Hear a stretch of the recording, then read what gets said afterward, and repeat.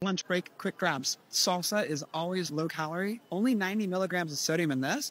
Gallo. This is a great topping plant-based chicken. So This actually looks pretty good. So you can grab this, stick it in the microwave, slap some salsa on top of it. Then it depends if you want carbs or fats. If you want to go keto or you want carbohydrates. So we just have to find a carb or a fat to accompany this. Avocado is one of my absolute favorite healthy fat sources. They are high in calories or dense. You could grab one of these, cut it in half, add that as a healthy fat source. Avocado pairs well with just about anything, even on that salsa. Cheese is the best source of fat. It's not the end of the world. This is what I like right here. These are quick grab and goes. Here's fat sources I usually take like deli sliced meat. I'll wrap one or two of those inside and have like one or two slices of turkey to go with that, or chicken, your choice. Feta cheese that you can sprinkle on top of your salads if you need extra fat or you don't like avocado, you can go with that. Make your choices based on balance, though. We're to the right of the deli. Here's the section. Oh, look at this. Okay, here are some meat sources. Adobo seasoned white meat chicken, solid protein source right here. Now we start pairing this with the carbohydrate. We start pairing it with the fat, depending if you want to have carbs or fats in your diet. Remember, one or the other, not both. This brand, I love this. This is a Walmart brand?